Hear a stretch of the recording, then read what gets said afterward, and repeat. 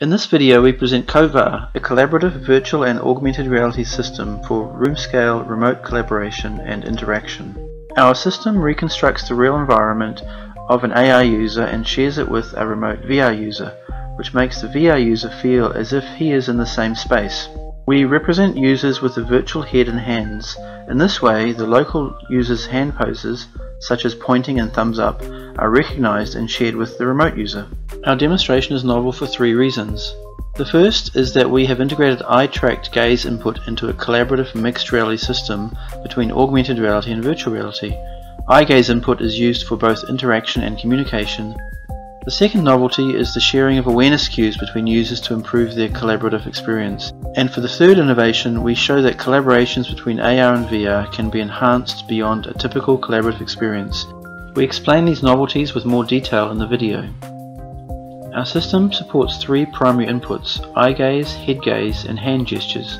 All of these inputs provide interaction and communication cues. In terms of interaction techniques from these inputs, we select two examples. The first example is a combination of gaze and gesture manipulation. Users can either use an eye gaze or a head gaze to indicate their object of interest and perform a gesture to execute commands. The second example of our interaction technique is the collaborative gaze, which requires both the AR and VR users to gaze at the same object to trigger an action such as revealing hidden information. This leads us to the second novelty. For communication cues from our inputs we present, the field of view cue is represented by a pyramid-shaped virtual frustum showing the boundary of the user's vision through their display. This helps inform the user of what her partner can see.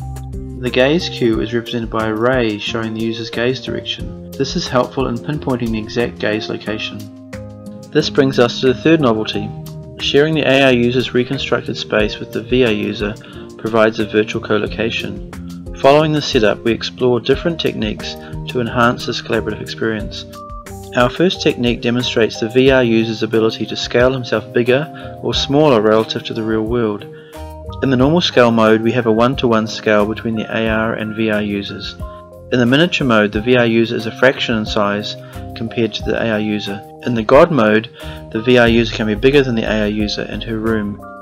Our second technique shows the VR user snapping to the AR user's perspective, where the current VR user's head position is set to that of the AR user.